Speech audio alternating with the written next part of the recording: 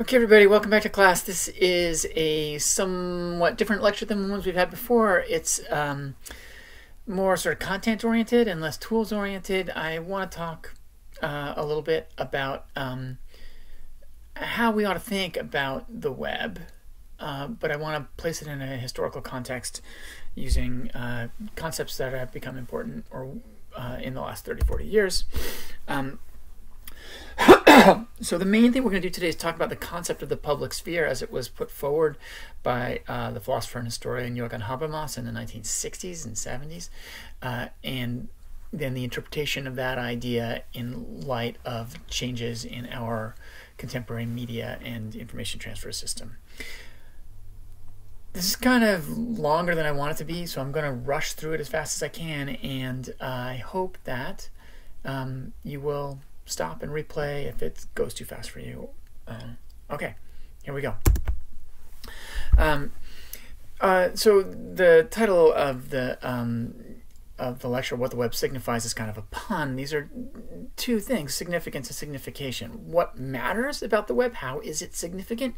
And how does the web create and change meaning? How does the web signify, as it were? Um, uh, so what matters about the web? Well, the web has had all kinds of effects on all kinds of uh, parts of our lives economic effects, political effects, cultural effects. What I want to talk about today, though, are its discursive effects. That is, how the web changes the kinds of conversations that we can have uh, for better or for worse.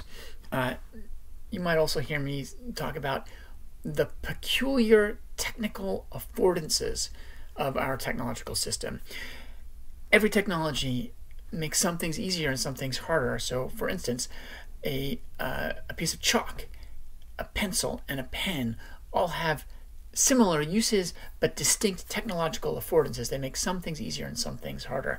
And that's also true about, say, a jigsaw and a circular saw when you're doing carpentry work, uh, or a rocking chair and a stool.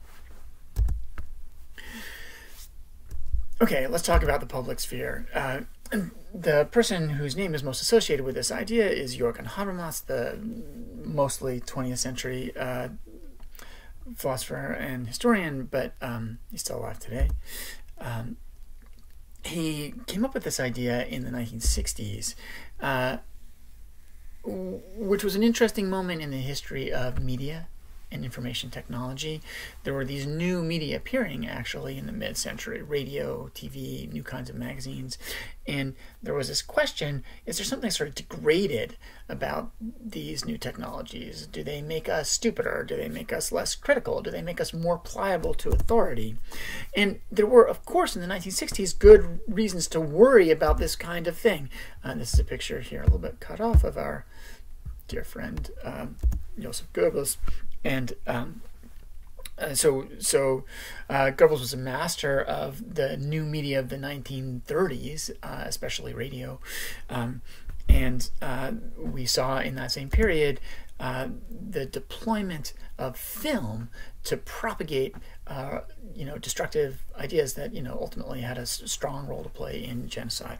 Um, so you know the concern in the 1960s that was that maybe you know you know there were a lot of there's a lot of interest in Germany, especially in trying to figure out what happened in the 1930s to make this like horrific moment in human history possible, and uh, uh, the thought you know, that Habermas was influenced by came from his intellectual trajectory, which we can you can ask me questions about if you like later. Uh, is that you know maybe there the this phenomenon of uh, the Nazi regime was made possible by a certain set of material conditions uh, related perhaps to the media of communication. Um, and in order to kind of formulate that idea in a more uh, a more complex or well developed way, Habermas went back in time to the 18th century and developed the idea of the public sphere. Um, uh, and he writes a portion of the, in, in the article that, that you uh, have on the syllabus. A portion of the public sphere comes into being in every conversation in which private individuals assemble to form a public body. Now it's not, I'll, I'll skip this maybe to get a little bit faster.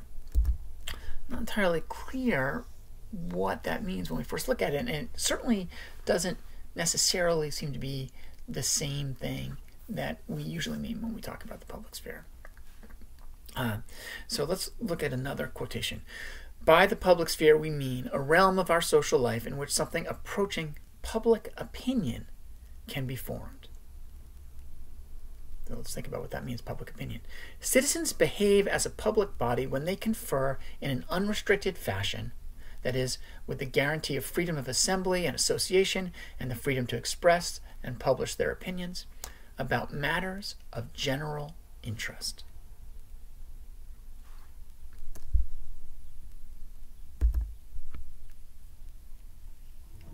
So,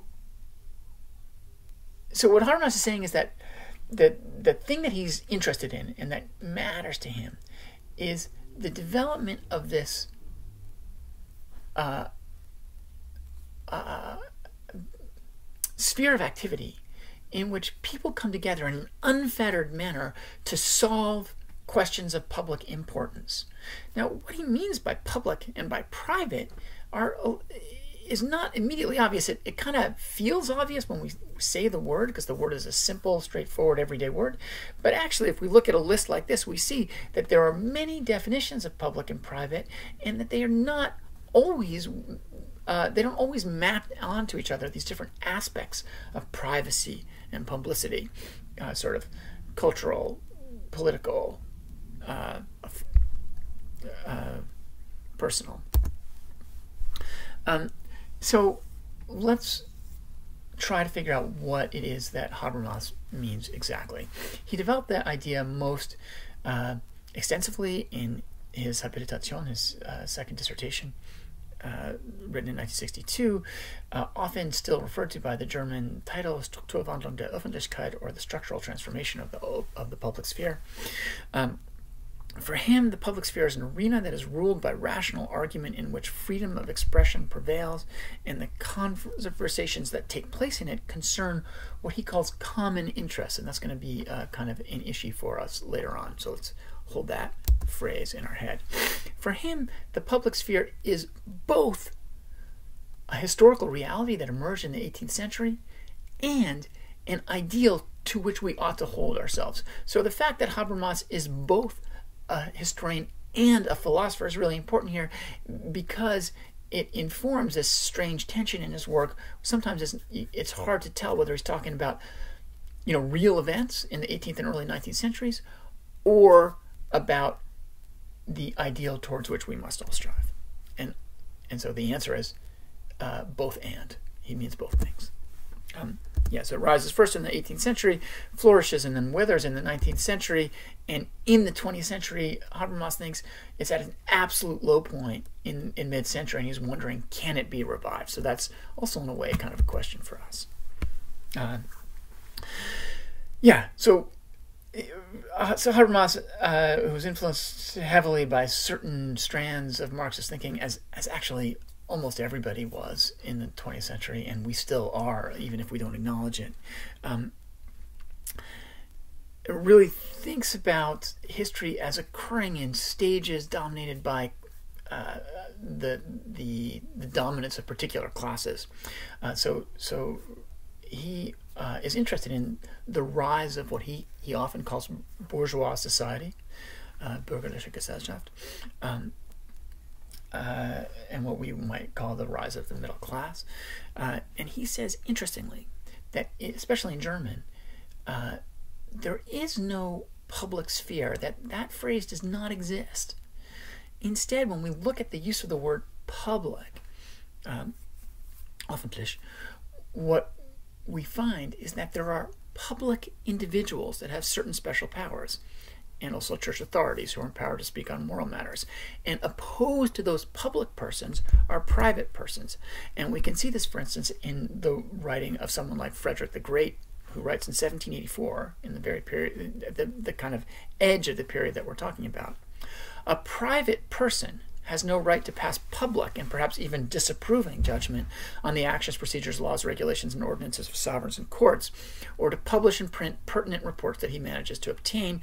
For a private person is not at all capable of making such judgment because he lacks complete knowledge of circumstances and motives. And this is part of his uh, justification for a massive censorship bill that he published in that year.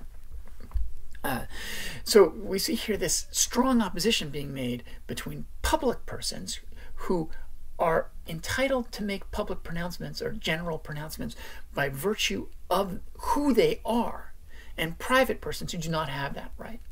So there's no sense that there are matters on which anyone might comment. So the question that Habermas is really interested in answering is how do we get from a monarchy in which only public persons have license to speak on public matters to something very different, a public sphere which is more widely open?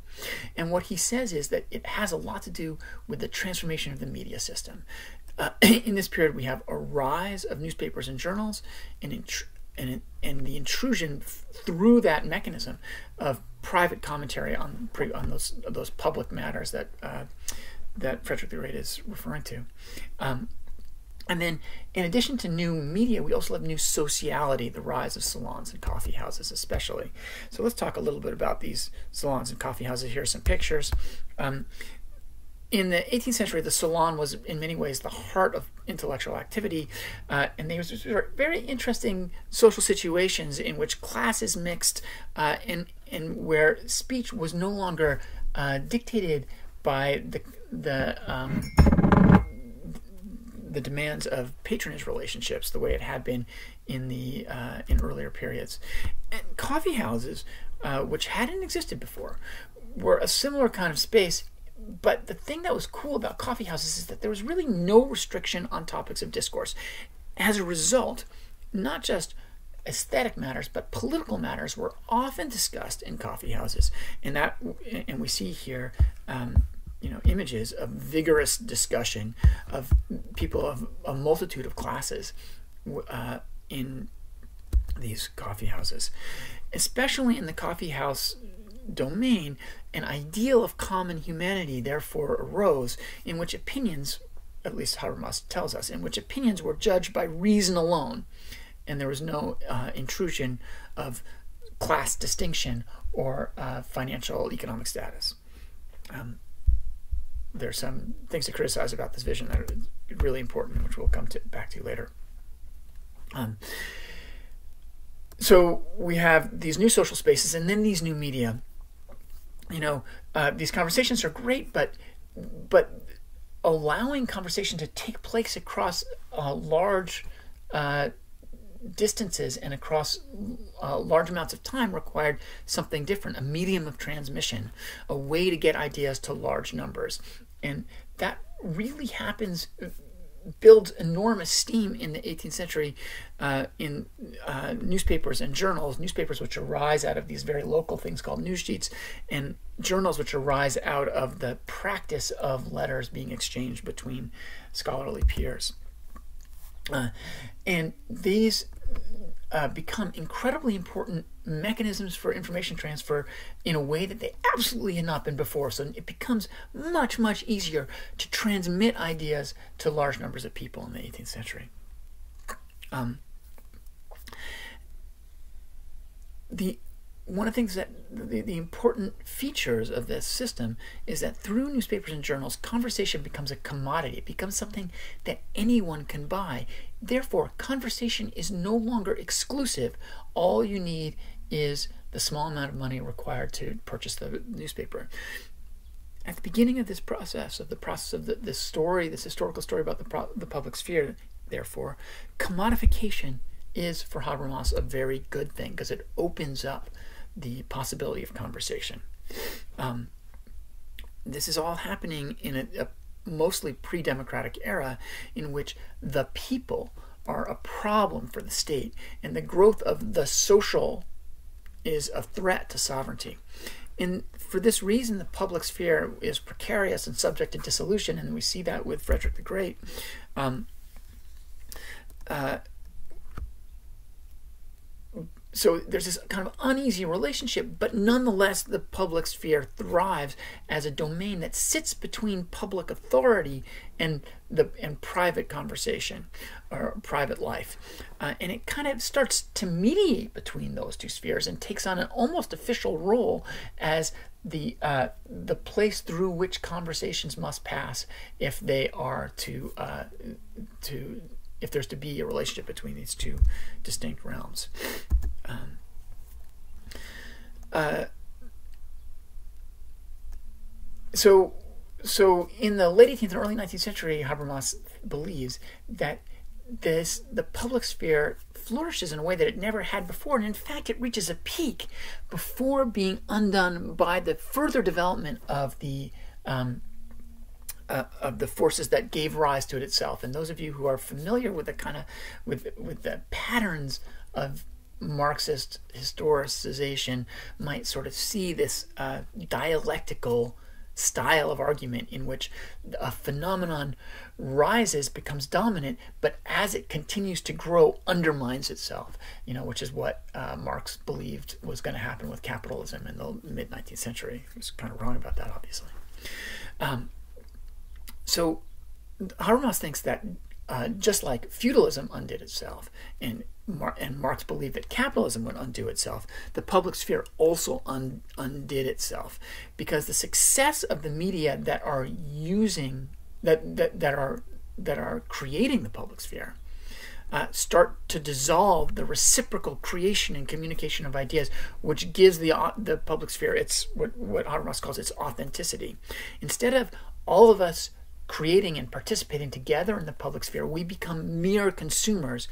And uh, because of the kind of logic of, of commodity production, reason begins to vanish from the pages of journals and newspapers and is replaced by kind of mere entertainment and uh, uh, unreasonable ideology.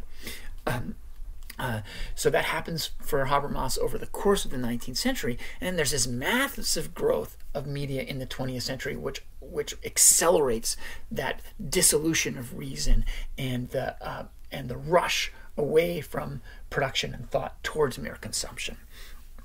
And and so in the 1960s, Habermas asked the question: What has become of the public sphere? Do we still have uh, do we still have one?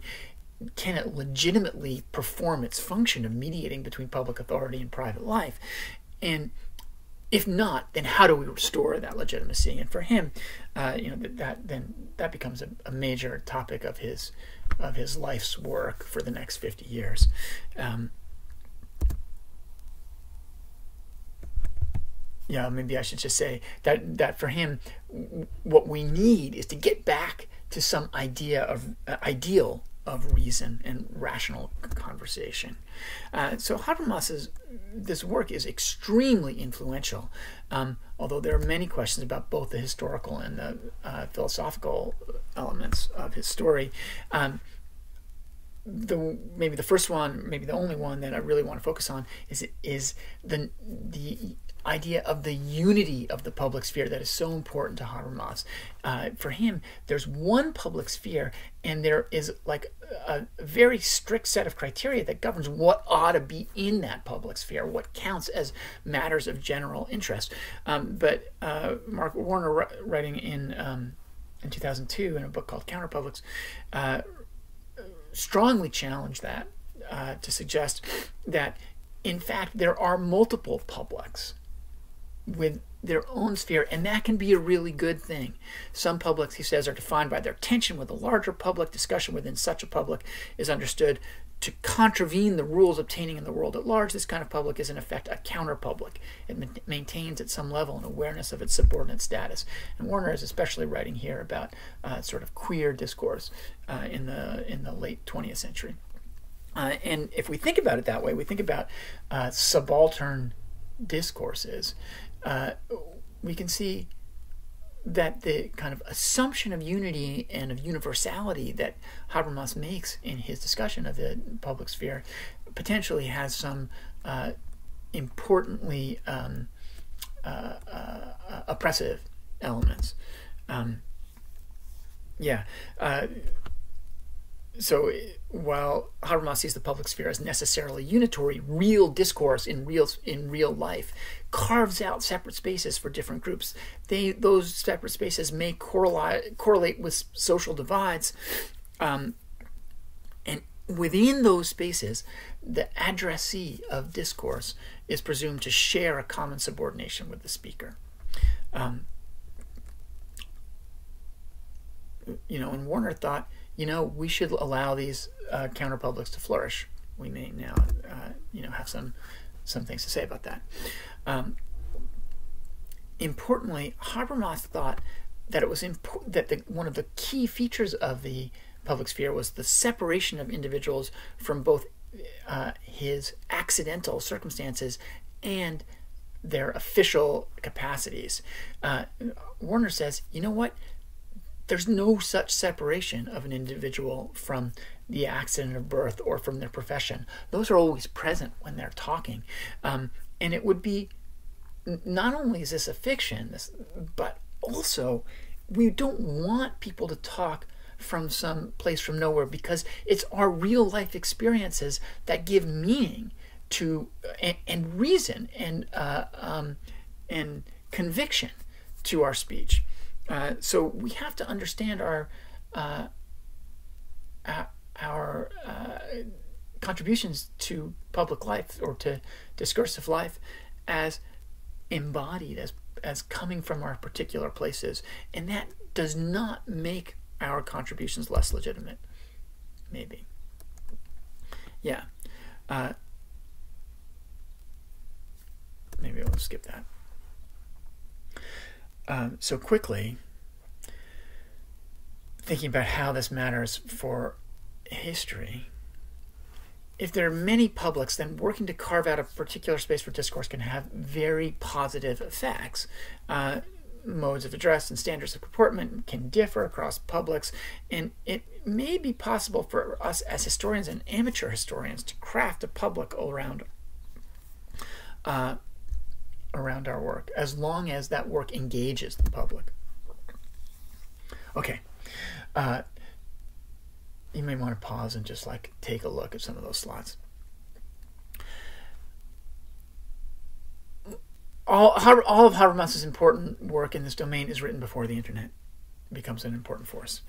Uh, his theory revolves around these two things, a technology and a social institution, these are enabled by print and threatened by television. The, the question that emerged in the 1990s was could the internet somehow help to restore the, uh, the legitimacy of the public sphere? And if not, was it on the other hand, or uh, oppositely, the kind of the final step in the dissolution of the public sphere? Uh, uh, so we want to explore both sides of that kind of uh, uh, of, the, of that spectrum of possibilities. Does the internet provide a space for authentic public conversation? Um, and if so, how do we like how do we uh, promote that authentic public conversation and work to diminish the kind of uh, uh, uh, negative effects of the internet. Uh, and also, how do we think about how the internet is run by the state, by corporate pressures, and by algorithms that work behind the scenes? Um, the most important sort of technical affordances of the web are in some ways related to the old media, but they're often distinct. Uh, the distribution of information is nearly instantaneous on the web. The production of information is highly distributed. So, for instance, I'm working from home today and you're listening from home. Um, text can be read by machines, and so uh, that gives rise finally to the uh, the emergence of algorithmic actors to sort and and, and filter information, and uh, that has really changed how we interface with uh, all kinds of knowledge. So the takeaway of this kind of whole conversation for us in this class is uh, is first, can we use Habermas's historical framework to make sense of the present? So make sure you've read Habermas's text, even though it's very dense, and ask yourself, can I take from this some resource to help me understand what's happening in the world right now? And second, for us as intellectuals uh, who want to uh, engage with the world in the present moment, how do we engage with the particular technical affordances of the web to make a public sphere that we want to see happen in the world? Okay, I will stop there for now and I uh, hope you're well. You'll see more from me soon.